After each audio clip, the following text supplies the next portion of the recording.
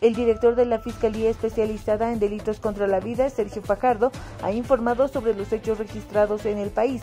95 casos de feminicidio y 34 de infanticidio, datos que corresponden del 1 de enero al 31 de octubre del 2021.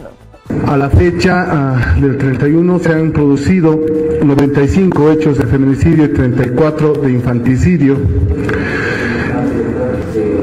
Del total de casos de feminicidio en el territorio nacional se tiene que eh, la mayor incidencia se reporta en los departamentos del eje central del país, es decir, La Paz con 36 casos, Santa Cruz 16, Cochabamba 14, Potosí con 10, Oruro 8, Chuquisaca 4, Beni 3, Tarija 3 y Pando 1.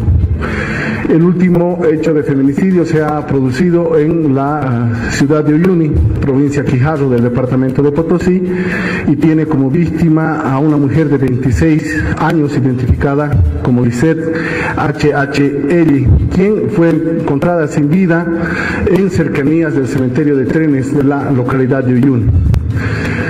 El cuerpo fue encontrado con aparentes signos de, violencia y una vez realizada la autopsia de ley se ha podido establecer que la causa de la muerte fue asfixia mecánica por compresión manual.